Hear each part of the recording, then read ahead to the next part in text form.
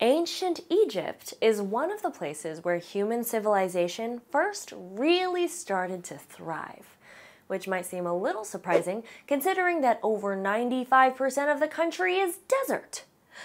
But in between the expanses of the Sahara Desert is the Nile River.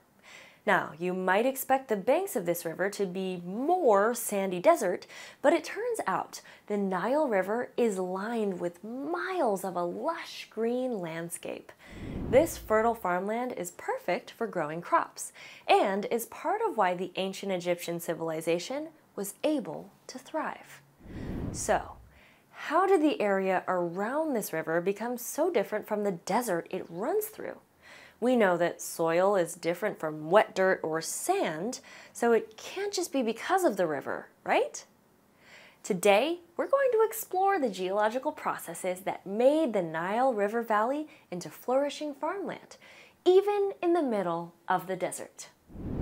By the end of this lesson, you should be able to identify causes of erosion, explain how the processes of erosion and deposition are connected, and explain the changes to Earth's surface that erosion and deposition cause. Let's get started.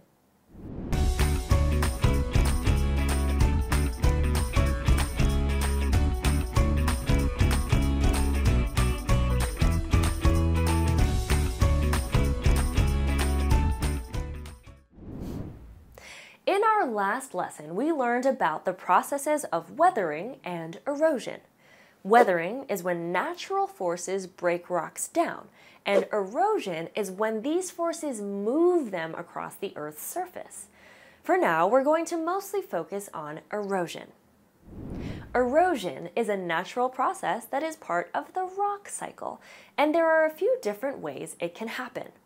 The main causes are when wind blows rocks around, when moving water from rainfall or streams carries rocks away, when ice carries rocks along with a glacier, or when gravity simply makes rocks fall to somewhere else. Now, you might be thinking, okay, so a couple of pebbles move around, what's the big deal about erosion? Pause the video here and write down why you think erosion might be an important geological process in your guided notes. Remember, when we describe geological processes, we're talking about things that are slow but constant. Let's say erosion results in only five or six rocks moving off a mountain every day. At the end of a year, that's about 2,000 rocks. After 100 years, it's 200,000 rocks. After a long enough time, it can literally move mountains.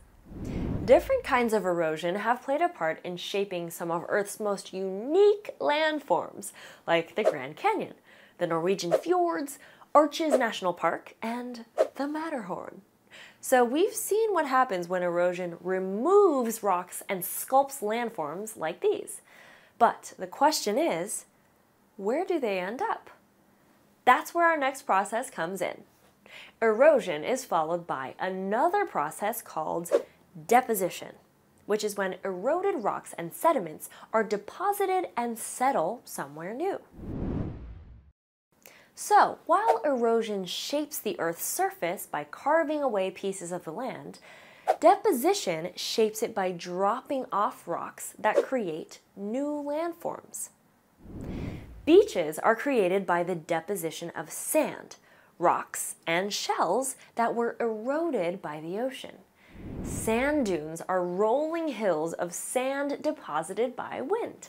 And river deltas are triangular landforms made when a river deposits the sediment it has eroded before emptying into another body of water, which, it turns out, is what makes the Nile River Delta so perfect for growing crops. After winding its way through Africa for over 4,000 miles, the Nile River erodes tons of rocks and minerals. At the end of its journey, when the Nile is emptying into the Mediterranean Sea, it deposits these rocks and minerals along the river delta. When it floods, these same minerals are deposited along the banks of the river as well.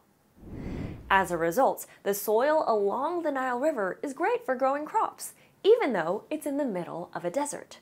That's just another example of the many processes that shape the Earth's surface at work. So, let's review what we learned today. You now know that erosion is caused by natural forces like wind, water, ice, and gravity. Erosion and deposition are closely connected processes, and both of these processes change Earth's surface by creating or reshaping landforms. We've learned a ton about the processes that shape the planet Earth. So be sure to put your new knowledge to good use with the games and extension activities to go with this lesson. And remember, in earth science, as in life, you rock!